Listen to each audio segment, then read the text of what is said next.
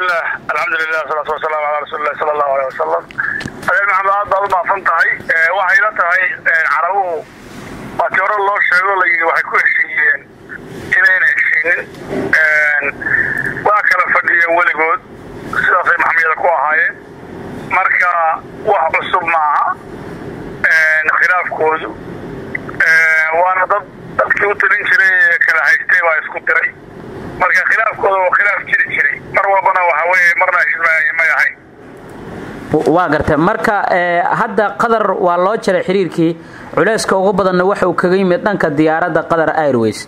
Maxaad is leedahay faa'iido iyo khasaaraba way ugu jiri kartaa qatar waxay la tahay horta guddigoodu way saamaynaysaa haddii xiriirkooda xumaado oo waxyaabihii macaamilaadka ay ka dhexeeyey uu istaago.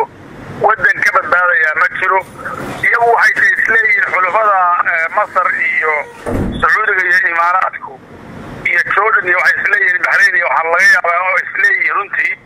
Haddii aad idinku israacdaan arrinta mashaakilaadka ka abuurma cunaqabatayntan iyo colaadani wuxuu saamayn doonaa qatar laakiin waxaan rajaynaya inay ku qaldan yihiin oo wada saamayn doonta. Qatarna waa dadaalaysaa. Waxaana qaba waxa weeye si kadara ah oo aan loo fiirsan oo aan ku habboonayn xiriirka dawladaha iyo waxa laysu yahabay xulufadaasi go'aankaasi waa go'aan qaldan oo ay qaadeen.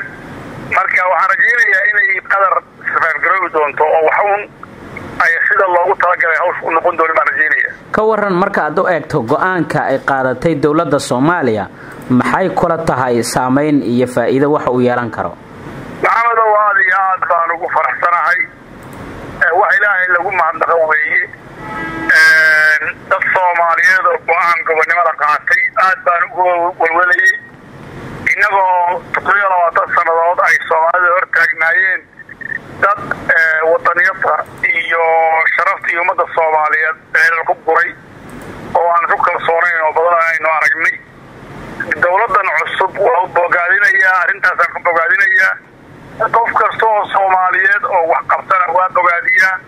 Wuxuu ku qadan yahayna waa wax kale oo laga wada hadli karo arrintaas gobonnimay muujisay dad jiri jiray oo taariikhda inaynu nahabay muujisay shacabka soomaaliyeed lacag waa baahna. Lacag waa u baahaya laakiin lacagta waxaa ka horreeya dadnimo wadaniyad iyo ka horreeya dowladaha adduunku lacag ma wada haystaa dowladda waxaa jira aan kortaas ka bixin karin oo faynisashita dowladda waxaa jira aan cidina taageerin cidina lacag siin laakiin nool oo calan loo taagan.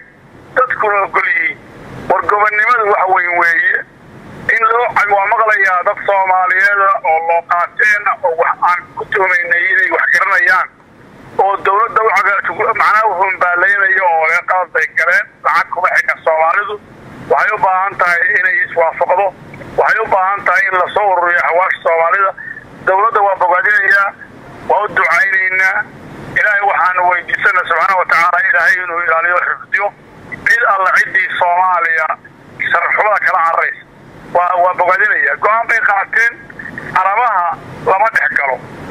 Iyagaa isyaqaana wax ka dhexeeyaan dulmi ay galaan baana marba ku soo laabta. Markaa mar boqolay dilaan kadaafi bay dileen sadaan bay dileen marba qof bay dilayaan. Marka waxa weeye hadda cid aynu u wexlixina garan mayn waa maqlayaa dowladda lacag baa sacuudigu war sacuudiga lacagta ilahay siiya soomaaliduna lacag waa haysta ilahayna waa siinaya.